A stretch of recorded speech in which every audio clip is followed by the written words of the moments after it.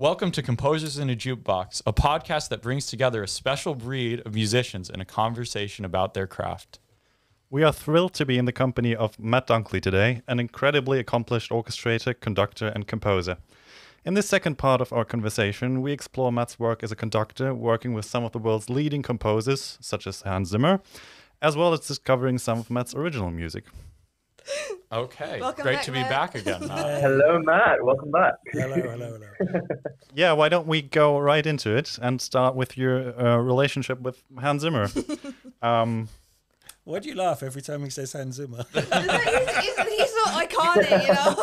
It's, it's Should I- even, it's should I pronounce it? Pronounce talking it? Pronounce it right? Oh, in, you're in German. German. It's Hans Pronounce it. Zimmer. about- Oh, Um, there you go. So, Yeah. Gotta get the tso- Yeah, So that's the first thing we learned today. yeah. Um, yeah. So what's your favorite Hans score you you've worked on and, and why? Um, I mean, I've, yeah, I've been lucky. I mean, I'm. I, I have to say I, I'm not his I'm I'm his number two conductor I guess. Which is you know it's still it's still Hans Zimmer Pretty I'll, good I'll, gig. I'll Yeah, take it number two. Good place I mean, to be I, in. I mean Gavin Greenaway conducts most of his music and Yeah. and I I know Gavin very well and he's a fantastic conductor and you know he's worked with Hans for many many years so I've got no beef with that. Um, but yeah I've been lucky to to do a few. I, I remember conducting uh, Inception which was was was a great score you Yeah, know, and amazing it, and it was it was the start of the the very loud uh, brass chord that has been much much copied but I, I, I remember conducting that and we, we recorded it all at air where Hans likes to work Yeah. and um, I I mean Hans and uh, Chris Nolan weren't weren't actually uh, at the studio, which is very unusual. But because it was the time, do you remember that there was that um, I think it was Icelandic volcano, and it like stopped all flights because there was so much stuff. Oh. stuff I in might the air. remember it. yeah, Yeah, yeah, yeah, yeah, yeah. I remember Oh. vaguely. Yeah. So basically, Yeah. so basically, Hans and, and Chris Nolan couldn't come to the sessions, which they're always Oh. very hands on at the sessions. So we had them there in um, Santa Monica, you know, at Hans's studio in the middle of the night while we were recording. And uh, you know, Hans was in some sort of pajamas, so, and, Chris, and Chris Nolan was still in, in, in, in an impeccable three-piece suit and a tie. You know, and it was like you know 3 a.m. in LA. So, yeah. uh, but um, that was that was great. I mean, it's I think it's a really fantastic score. Um, Hans and and Lorne Balfe had a lot lot of um, say in that score as well. And um, yeah, that that that big brass chord thing that has been so copied was that that was to be there at the inception of, Oh, yeah. of that of that was pretty was, was pretty cool. Um, so that, that- I think that was a great score, and also I really enjoyed um, conducting. Uh, no Time to Die, the last Bond movie, which was Hans, Yeah. Hans wrote with Steve Mazzaro, Oh. and um, yeah, again, that's a, I think that's a really good score, and uh, um, yeah, to I mean, you know, to conduct a Bond movie, is Yeah, is yeah. pretty cool, and and I got to co-arrange the the title song, so Yeah. tick, ticking my arrangers box that one. Absolutely. Well, we actually have a question about that. Yeah. Um, going off of that, what what does arranging a song like that entail? What kind of workflow do you use? What kind of things did you do technically on that? Well, yeah, I mean, we got the you know we got the Billie Eilish track in, and and Hans um, rang me up, and I, I don't normally arrange for Hans. I, you know, I've conducted for him, but I don't normally arrange. He's got a huge team of arrangers. Um, and Oscar Sennan does most of his stuff now, but he knew that I'd been attached to the previous composer on on the Bond movie that that sadly it didn't work out, and so I think he, you know he's a very loyal guy, Hans. So he, he thought he'd uh, do, Oh, do, nice. do the Yeah. good thing, and he, he invited me to uh, co-arrange the song with him. So we had this Billie Eilish track, which was you know it's a great song, but it was very muted, very sort of low key, sad in a way, and it didn't feel at all Bond like. You know, so my job with Hans really was to convert it into the Bond world uh, without killing this beautiful fragile song at the same time. So Yeah.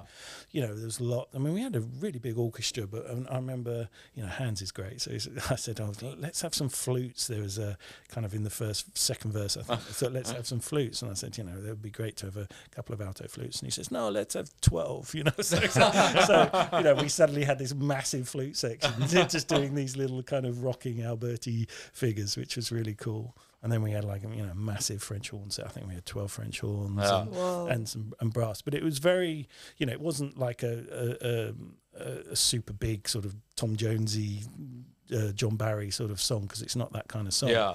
So it was really trying to get that those Bond elements in, you know. So I used like a kind of um, you know plunger trumpet growling, play, playing like the theme in the background, you know, blah, blah, blah, blah, Yeah, yeah. just very subtle and stuff. And then you know strings doing the sort of diddly diddly doo, you know Mhm. runs down and things like that.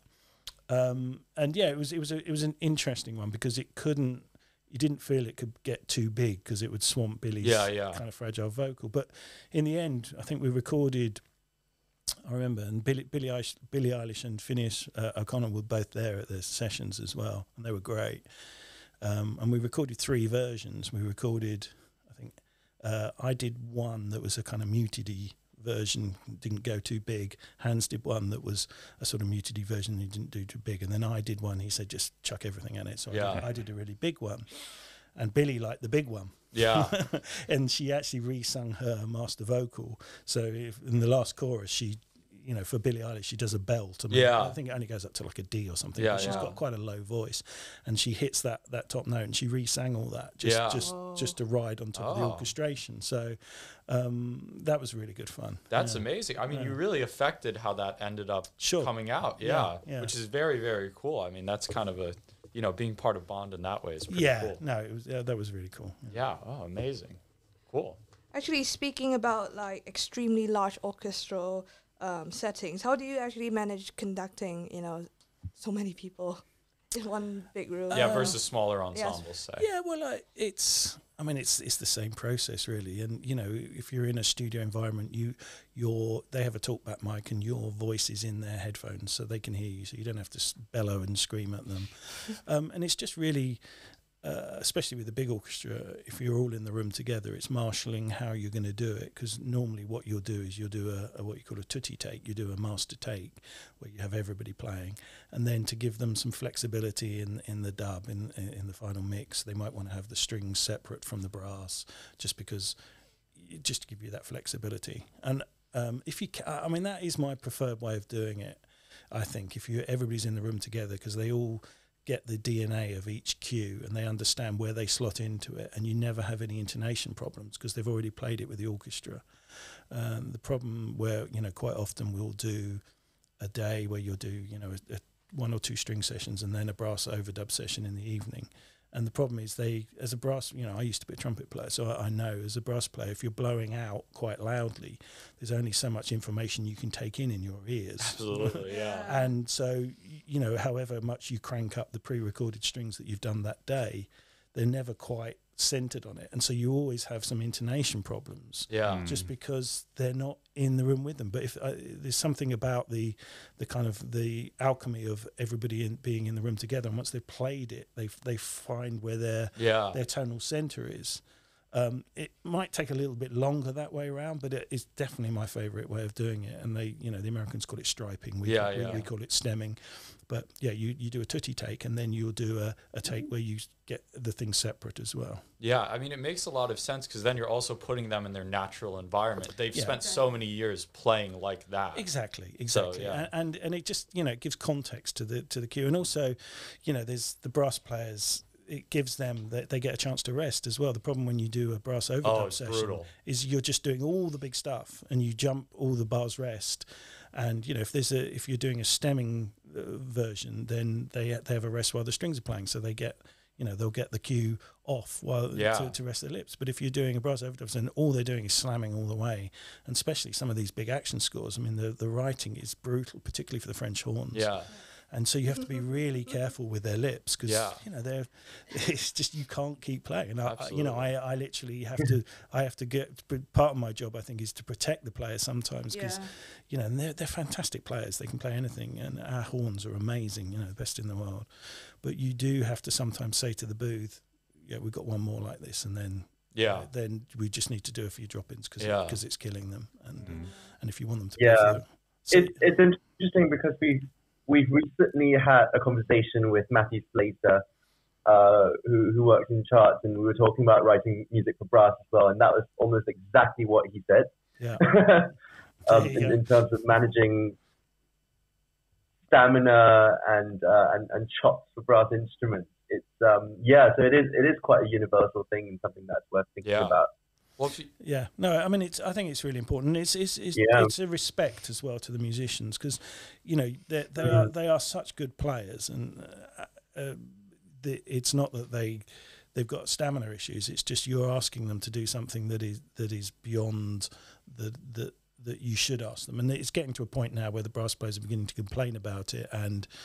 Um, I think there's an MU thing now where you, you pay for a, a what you call a bumper, where you have an extra Yeah, pla- yeah. extra Yeah. player to, to Yeah. help the first Yeah. help the first chairs share the share the load, yeah, which you know is, is has been a regular thing in, in the classical world. If you ever go and watch a Mahler symphony, there'll always be a there'll be normally a bumper on the first horn and a bumper Yeah. on the first first trumpet, just so they can rest a bit and play the important solos, but take some of the big tutti stuff off. yeah. So that's creeping in now in the session world, and I've never seen that before. And I think that is because of this this this whole um, you know overdub session thing. Absolutely. And like you said, the style of a lot of film music now, the brass is so loud, it's accented, you know, it's just it's it's just hard. It's high or low a lot of the time. Yeah, absolutely. It, it, I mean, you know, the, the, the horn writing, and we're we're so lucky because you know we have a we can have a, a section of twelve French horns, and they're all principal players. Yeah. So they can all scream above the stage. you Yeah. have them all going up to top C's and top D's at fortissimo, Yeah. and you try that with a, a classical orchestra, and you know the general the way a, horn section split in a classical orchestra is if you have four horns, the first and third are the high guys, Yeah. and the second and fourth are the low guys. They've got the interlock. A- and thing, you know yeah. you try and get them all to play up high it's just it's clam city but in film, you get A4 all the way up Yeah. or A6. yeah absolutely Yeah, And it, it, it really is and uh, they're extraordinary musicians but uh, you, you have to be careful not to abuse them and I, i'm i'm you know really careful about that and i will Yeah. i will say to the players do you need you know do you need five minutes or um yeah Yeah, absolutely. I mean, because their livelihood and things that. Yeah. absolutely. And they've, you know, the next day they might be, you know, they'll be playing with an orchestra or something. Yeah. And Yeah, if yeah. you completely knacker, knacker their lip, it means they, you know, as uh, I remember one of the principal horns saying he had to, after one of these sessions, he had to take two days off because his lip was so bashed about. And this is like one of the best in the world. So Yeah. you think yeah, we're not doing something right if that happens. Absolutely. It's, it's like if you orchestrate something and if one of those players has trouble, you, d- you did something wrong. Yep. Yeah. Clearly, because they can they can play most yeah repertoire. and you know as an orchestrator you also you, you you see that you know where you write they write incredibly high and incredibly quiet and you think actually that's pretty, pretty much an impossible thing to do okay you can do it with the sample but you know, as a player you know it's it's you can only get it to a certain level. Yeah, and I say, yeah. look, you're not going to get it any quieter. Uh, uh, you can do it on the sample, but let the player play at a comfortable volume, and then you just have to Yeah. mix Exactly. it down. You can do a lot with the samples that don't Yeah. don't go that way. Absolutely. Yeah. Yeah. Yeah. Absolutely. All right. Yeah, and actually, talk, sorry, sorry to jump in. Just talking about um, recording in stems, because that's some. I mean, this question kind of. I think it's. Um, it, will be interesting just for us to know and to maybe you know get some ideas to adopt in our own practice as well. Um, what do you get your players to listen to if, say, for example, they're just a brass section um, recording one stem in in a larger cue do you usually get them just, you know, listening to the click, or would it be the click along with the mock-ups, or things that have like other stems, like maybe strings or winds that might have been recorded before? What what's in their ears Yeah. when they're um, recording a stem? I mean, you don't generally you don't want to give them any mock-ups because the, you know it, the tuning can be a bit variable and um, it, it's just they they always hate that. So give them anything that's been pre-recorded. So if you've done a string section in the afternoon, give them that. If there's any things that are pre-records but are keepers, like a piano part or a guitar part or something like that, give them that. Um, you know, and often they'll say actually just you know, and they don't want too much percussion or anything like that unless there's a groove thing going on. So they don't want too much information. So just keep it simple, but just something that keeps them tonally centered. You know. Absolutely. Yeah, definitely, Okay. definitely. I mean, go to I, the- I mean, and players they'll tell you as well. You know, they're, they're not going to be shy in telling, tell- telling you what you want, and they're all they're all so experienced session players that they'll say exactly what they want in their cans. And Yeah. and uh, the brass, whatever it is, Yeah, whatever yeah. whatever you do, they'll say they want more click. So, Yeah. yeah, it's it's it's it's so peculiar, isn't it? Like um, from a player's point of view, you know, because we talk about like, the expressiveness, the the linearity uh, in music making, while at the same time people are demanding for more click, wanting to be more grounded metronomically as well. And so it's it's such it's such a magical process. Our players are constantly able to strike that balance between syncing up vertically and playing linearly as well. Yeah, absolutely. And you know, sometimes you will. Um, it's not so easy if you're you're stemming because then you you get synchronization problems. But if you've got all the orchestra in the room together, sometimes it's nice to do if you've got time to just do a take off click. Where you can just, especially if it's not, you're not doing like hit points and things like that. If it's a, if it's a, an opening title or an end title, and you can make the music breathe a bit more, then um, just go off click, um, and that that sometimes they're they're the ones that make it to, to the film because they they feel really organic, and the you know the rallentandos and the cellorandos just feel a bit more natural than than when everybody's holding on to a click, and it just breathes a bit more, and you know you can see all the players. It's almost like their shoulders go down, they relax because it's this is what they they started off doing and Yeah. um so that that's a nice thing to do if you can and i know i mean john williams mo- uh, virtually all his stuff is off click Yeah. um but then you know he only records two or three minutes a session so he's Yeah. he's got the luxury to do that um and yeah to and to get it right Yeah. He gets to do what he wants. Punches and yeah you, all yeah that you, you stuff. don't, you, don't, Yeah. you, you don't mess with jw so. yeah, yeah, yeah. Nobody's gonna tell him do it to No, quick John. yeah, yeah. Um, all right, great. You want to move to the kind of general conducting questions? Yeah, let them go for it. Yeah. Um, one thing I'm interested in to hear. Um, let's talk about choir conducting for a minute because you've done that too. For example, on Dark Knight Rises, I believe. sure yeah yeah i've done quite a lot of choir conducting yeah Yeah. Um, so, how, in your opinion, does that differ from doing orchestra? I have a strong opinion myself, but I'm very interested to hear Yeah, I what think- you got to say. Yeah, I mean, you know, quite recently, I, I've I've actually come to the conclusion that uh, I, I prefer letting somebody else do it. um, so I um. I always used to conduct choirs, and I, I can do it, and it is good, you know. But you, I think you have to tr- treat choirs in a very different way to you do an orchestral. Um, th- and you know, we're very lucky in this country that, that our choirs are amazing readers Incredible. you know you go to you go to LA or or uh, anywhere else really that you you've got to kind of teach them the the the part and you know bash bash notes on on the keyboard whereas I mean, we always have a keyboard when you choir conduct just to give them like the opening chords and stuff. But they're such good readers, so um, it's really yeah. You just I think you have to be a bit gentler um, and a little more charming.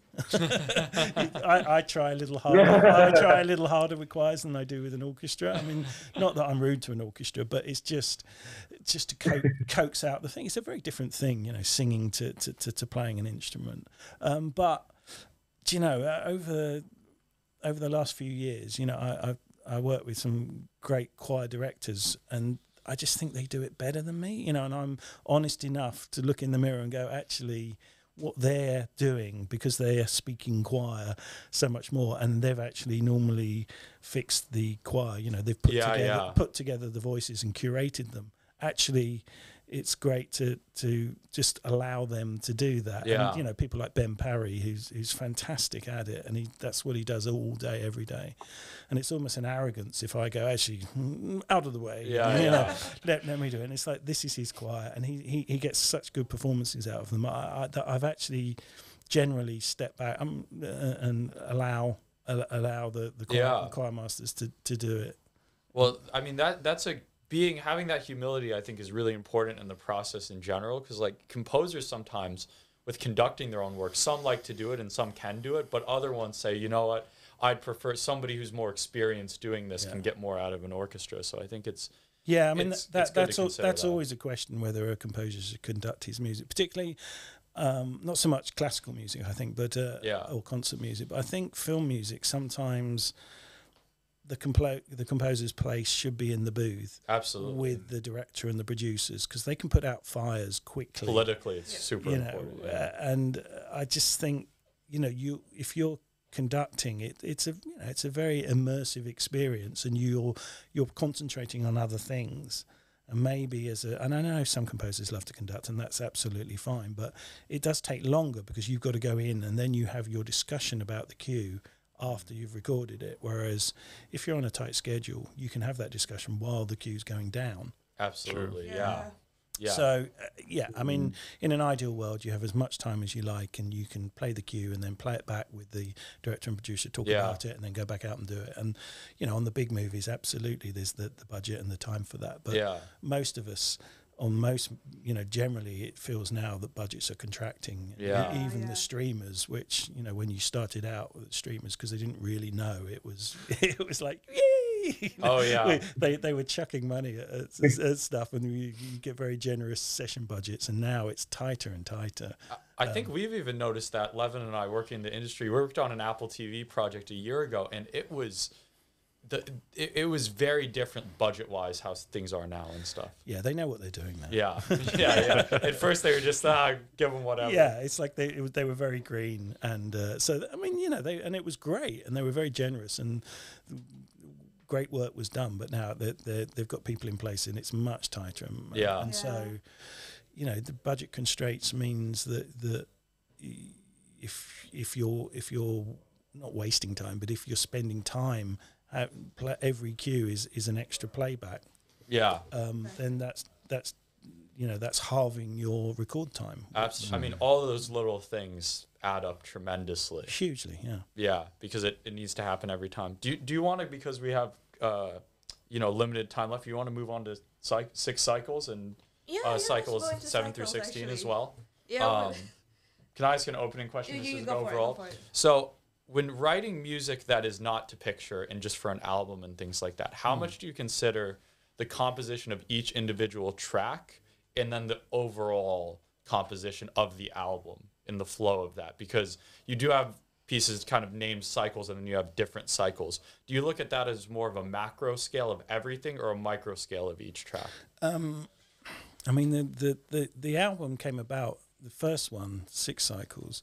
Um, I was doing, it, they were kind of, the first couple tracks were like offcuts from ads that I'd done. Oh, and, and they, they hadn't got commissioned. And then the, the ad company that I was working with, he said, um, actually, you know, let's, why don't we just do an album? And he said, and I'll see if I can get them licensed. So it was, it was kind of fairly, um, you know, it was fairly commercially minded in a way. Ah, so I did a couple. There, there were the couple were that, and then I wrote some more, and they all had they all had uh, names, um, which initially were, you know, I my working titles. There was one called the, like the first track on the album was called Reflections, which is was basically just like looking out through a window.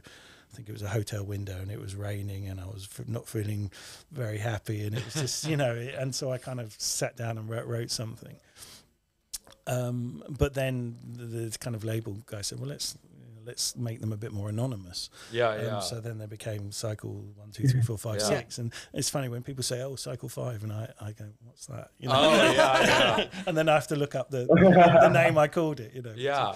but um, and then I did another album, which uh, again had had um, it had names, but because we'd already done the the the, the cycle thing, we thought we we keep that going. Um, but I always had a sort of programmatic idea in mind, and I've actually finished another album now, which is um, kind of loosely based on the idea of pictures at an exhibition. So it was Oh. it, it was it was a wander Oh. through Tate Britain Mm. and I took eight pictures, or it was one sculpture and seven pictures of that influenced me, and I, I really loved. And then I wrote pieces about them. Oh, very Oh, cool. cool. and one of them was um, one of them was like one of the pre pre Raphaelites, uh, the the one of Ophelia um, in the stream. And uh, I'd written this this piece, and at the time I was doing the uh, Judy movie with Renee Zellweger. I was, I was the musical director, so I was rehearsing with her a lot. And I found out that the, the model for the pre Raphaelites was uh, a, a lady called Elizabeth Siddal. And she she'd been like she was a bit of a muse for the pre-Raphaelites, and she was she was the model for um, Ophelia in this thing. Apparently, she was in like Millais's bathtub for for, for a month or so, and um, Yeah. but um, and uh, but I found out she was also a poet, and she'd written a poem based on this experience. So I got Renee to uh, read the poem over the track, which is Oh, kind you of got cool. Renee's Oh. own. So, That's yeah, very cool. yeah, very is, is that coming out soon? Yeah, hopefully. Um, yeah, this, it, it kind of it was a casualty of lockdown, but um, you know, and tr- trying to put it together. So that that was that's very pro- programmatic, and e- and each title is is based on the title of the picture that it's, Oh, it's supposed to be. So Well, be sure to give that a listen when it comes out. exactly. Yeah, yeah, yeah. Yeah, it sounds very exciting. yeah, Yeah. Honestly, for me, I, I think Yeah. uh, the first piece you were mentioning, Reflection, was kind of the most favorite one for me. uh-huh. For me, I, when I listened to it, it kind of gave me more of like um, a feeling of wondering.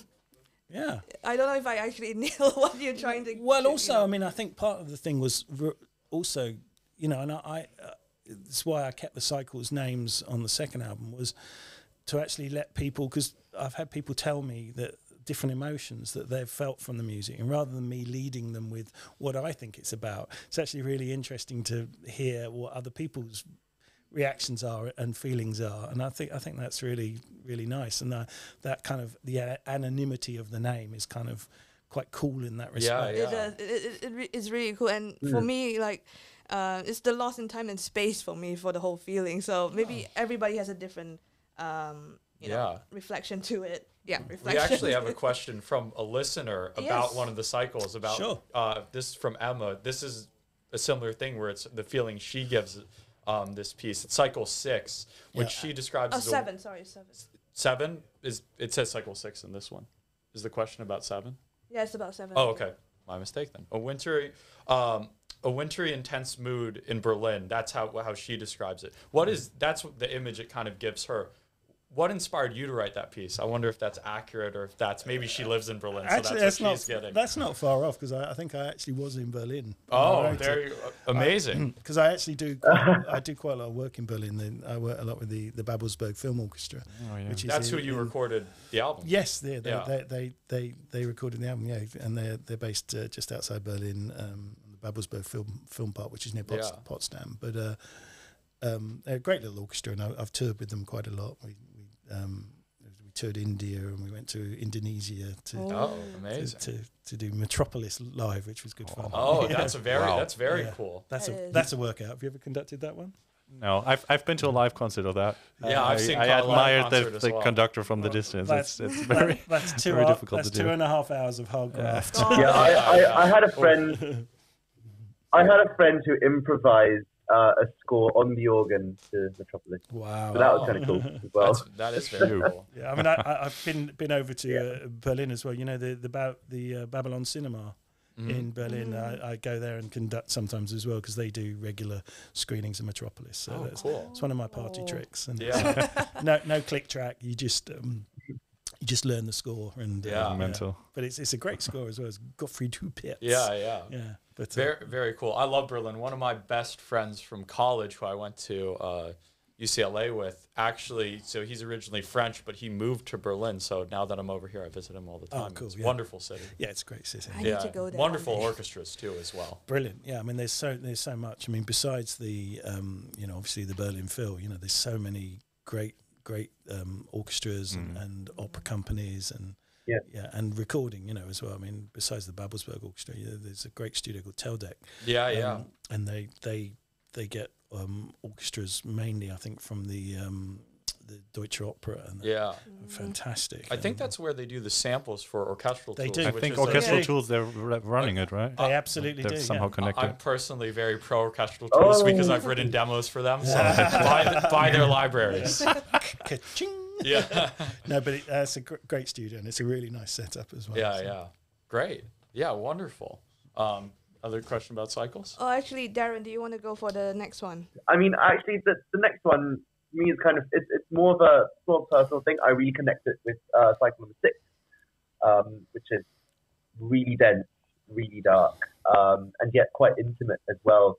Um, would you say that um, on the whole, because I mean, Matt, we a lot of us know you as an orchestrator or an arranger or a conductor of other people's music. Would you say that Cycles um, is a good reflection of who you are as a creator? Um, yeah, good question. Yeah, I think it is actually. I mean, it's funny. I, I you know, I started off um, doing pop arranging, and then I got into um, film arranging, and then I, I had a period kind of early 2000s where I was doing quite a lot of composing. I did quite a lot of film, um, quite a lot of TV stuff, and I did a few films.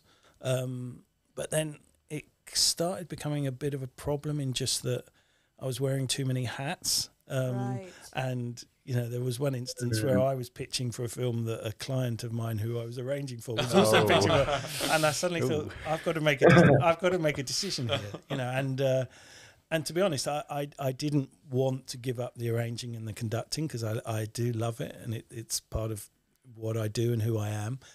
And so I kind of made a decision to, to, to step back a little bit from the composing because I think I'd, I'd just have had to just have had to do that. And I, I didn't, you know, I like the fact I've got this slightly strange career, you know, and I've got a great agent who, who appreciates that it's a bit, it's a bit wonky, you know, and there's there's a bit of arranging, there's a bit of conducting, there's a bit of composing, there's you know all sorts of things that I like to do.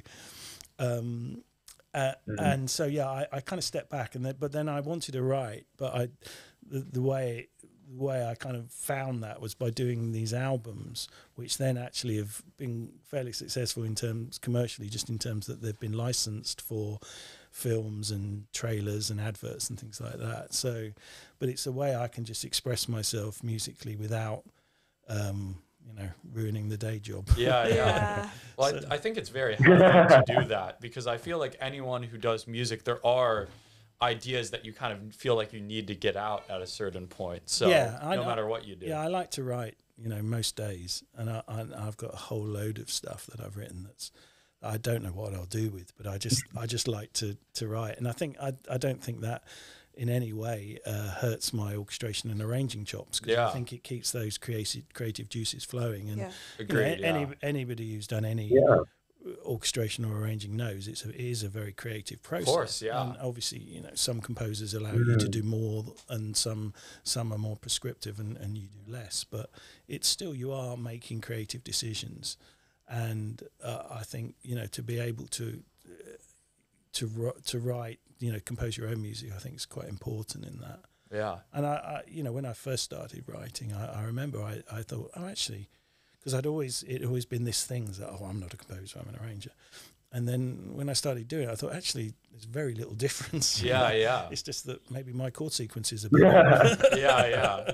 Yeah. you know, it, you know, especially on a if you're do, you know when uh, arranging a pop song, there's there's a lot of original material that Yeah. you're, you're bringing to the party. Absolutely. Yeah. Um, so yeah, I, I don't think it's a big leap, and I also think that, that the two uh, are kind of mutually sympathetic. Yeah. But it just career-wise and industry-wise, it, it, it seemed to m- make sense to me to have that kind of demarcation. So, Yeah. So people, you know, didn't get confused because Yeah. you know the industry loves to put you in a box anyway. Of course, yeah. fair enough. Yeah. Well, I think that's a Yeah, good place to yeah. uh, stop off on Well, I time. got one last oh, question. okay. Go Yeah, ahead. actually, sorry, I think we have time. Oh, I've got I've got another last one as well.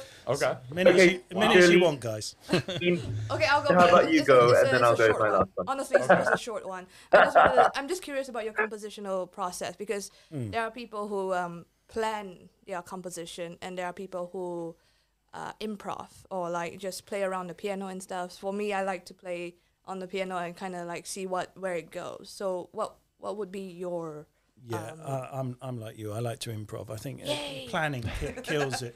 Um, the only thing I, I noticed quite early on with my composition is I, I have to be quite strict with myself because being a you know a decent arranger, I can make anything sound okay, and you know sometimes sometimes we we have to you know work with material from a composer that's not great that you have to Mm. make sound better than it is.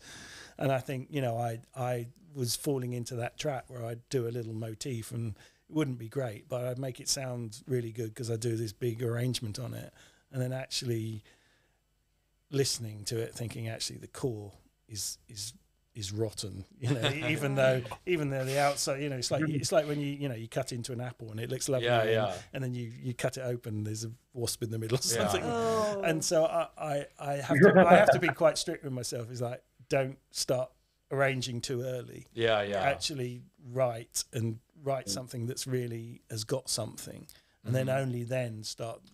You know, allowing your arranging chops. To One of the in. best pieces of advice I ever got from a composition teacher was exactly that. Figure out the core of it and then add the filigree and other things. Yeah. They said it's like if you're building a house, you don't pick out the lamp first. You build the foundation first. Exactly. Yeah, that's Absol- true. Absolutely true. Yeah. yeah so that i yeah i had to that was a lesson well learned but uh, Yeah. yeah so that but my- yeah my process it's very organic you know I, I, I can't sit down and work out a structure and a chord sequence and things like that I, it doesn't i tend to follow follow a melody line and then then harmonize that melody line Yeah. and I've Yeah. worked a lot in um, Indian music. You know, I work a lot with uh, composer A.R. Rahman, and he's uh, Indian music is very sort of non-chordal in a lot Yeah. of ways. You know, you often have this drone, and then you have these amazing melodies over the top, Yeah. which A.R. A.R. does, and that's I think that's really interesting. Sometimes you don't need to harmonize. yeah, yeah. Sometimes you can just have like a C, Yeah. a C drone with with something really interesting on top. So Yeah. Exactly. Yeah. Yeah, absolutely. Darren, Yep. ready to ask Yeah. the last question? Darren, go for it.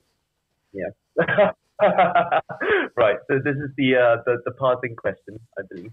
Um, something a little bit broader, considering how Matt, you've already done uh, a huge body of work uh, in in various genres and with various collaborators. But is there anything, any any aspect of music or process or genre that you're still interested to explore and that perhaps you've not done before? Um, I'd like to do. I mean, I, just as a, as a writer, I'd like to do more with dance. I've done I've done a few show Oh. I've done a few shows and worked with a choreographer and really enjoyed it. And actually, one of my cycles pieces, um, we did a little thing with um, uh, Charlotte Evans at the uh, uh, Royal Opera House, or the Royal Ballet. She's one of their choreographers, and we did. And she she set one of those to to um, one of my cycles pieces with with she did this beautiful ballet thing. Uh, so I'd like to do something more with dance because I really I find there's something magical about that. Oh, yeah, I'd love Yeah. to do a sort of performance piece with a Yeah, with a choreographer. And when, and when I've worked with a choreographer on, on the couple of shows I've done, I've really enjoyed it, and that's that's informed what I've written. well. Yeah, I'm right there with you. I, I did um, something for a ballet and I just loved it. I thought it was so much fun. So, yeah, yeah. yeah, So I'd love to do that. But uh, other than that, you know, I just Yeah, there's some I just there's wanna- something magically abstract about it as well. yeah, absolutely. And it, yeah, I'd, I'd really So love, you, yeah, love the idea of doing something really sort of beautiful and artistic with amazing choreography and amazing lighting and just a real, you know, something you could do at a festival. So that that would be my dream. Yeah. Wonderful. Well, great talking to you, Matt. We really Yeah. appreciate Yes. you being Yeah, here thank you so much. Yes. That's great. It was pleasure. wonderful talking thank to you so much for joining us. On the Okay. second part. Safe travel home.